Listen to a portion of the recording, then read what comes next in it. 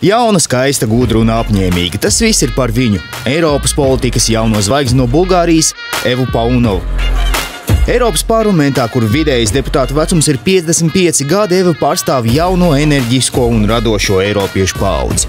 You know, it actually feels very good to be uh, one of the youngest members because what's important is you're you're not judged in any different way. Actually, um, people see that you have a little bit different ideas and they appreciate that. The way I see the young generation of politicians, the new sort of leadership, I see it working cross-party, working through understandings, through common initiatives, through common goals that they want to put forward and, and realize. Evas stiprā puse ir radošums it visā, ko viņa dara. Politiķi apgalvo, ka tas viņai ticis ielikts jau bērnu šūpulī. In Bulgaria, we have this tradition where once the baby is born, um, parents take the belly button Um, it's called the umbilicum cord or something uh, similar, I believe. Um, and they're supposed to kind of very symbolically put it somewhere um, in order to, how to say, to draw the future path of the kid.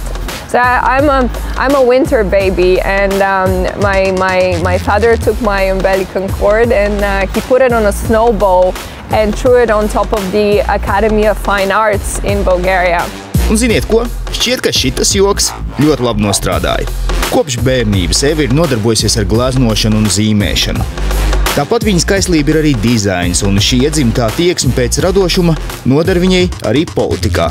Creativity is one of the strongest um, assets that I've developed throughout the years, which helps me um, do things a little bit in a different way.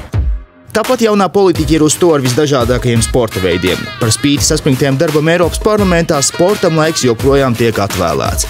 Oh, I did almost everything, but the ones that I was very successful are swimming, skiing and tennis. Tas, pret ko laika gaitā garša ir nedaudz zudusi, tā ir ceļošana. Eiropas parlamenta deputātam tās ir vienkārši pārāk daudz. People used to call me uh, that I basically live in an airplane uh, already before I became an MEP because I enjoyed so much traveling and I have to be always uh, somewhere all the time traveling and being on the go.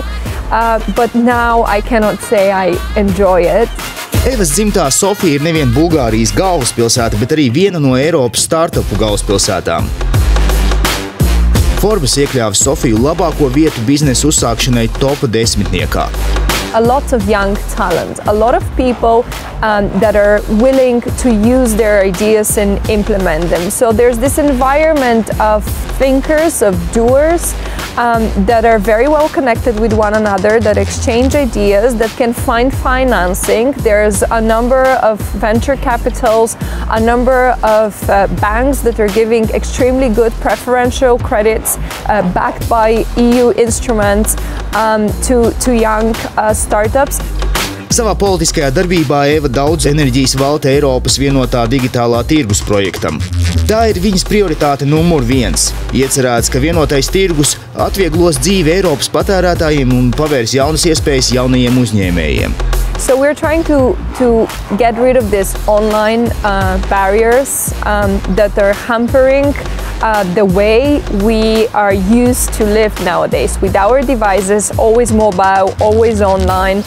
Vieta piebilst, ka laikā, kad daudz vietā Eiropā aizvien skaļākas kļūst eiroskeptiķu balsis, Eva ir pārliecināta vienotās Eiropas projektā izstāve. I think the European project is the best project that we have had so far uh, that made Europe uh, such a strong country and prosperous where people live well. Um, just called Europe a country. okay. Do, well, do you mean like? Uh, I well, you know, the thing is that I feel European. I am Bulgarian, but I feel European.